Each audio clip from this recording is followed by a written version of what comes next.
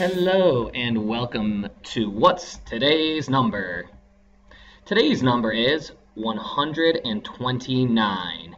That is the mass in grams of the iPhone 6.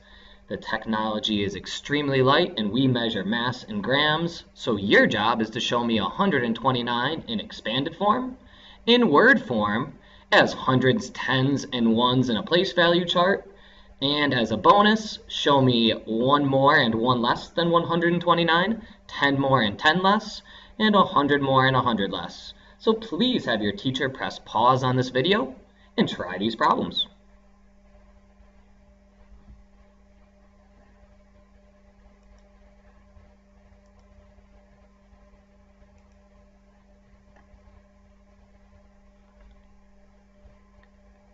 We measure mass on a balance scale in grams. So when two masses are even, my scale is balanced. When two masses are not even, my scale is not balanced and tips. So I would need 129 grams on one side to be the same as one iPhone to make them equal.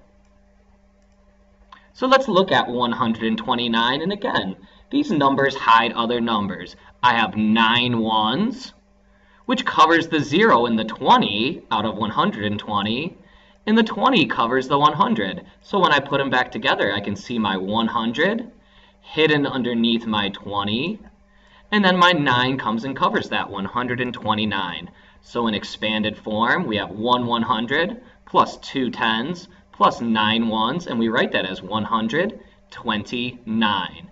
In place value discs, I'm going to want to show nine ones, and whenever I make anything more than five, I like to group them in groups of five, so they look similar to a 10 frame, so I can quickly and easily count and know that one less than 10 is nine. I have nine ones, 20 is made up of two tens, and 100 is made up of 100. When I do one less and one more, there's only one place value that's going to be affected, and that's my ones. So if I take one away, from 9, that leaves me with 8 ones, 128. Now here's a tricky one. If I add 1 to 9, that makes 10, which means I'm going to have one more 10. One more than 129 is 130, because 29 plus 1 makes 30.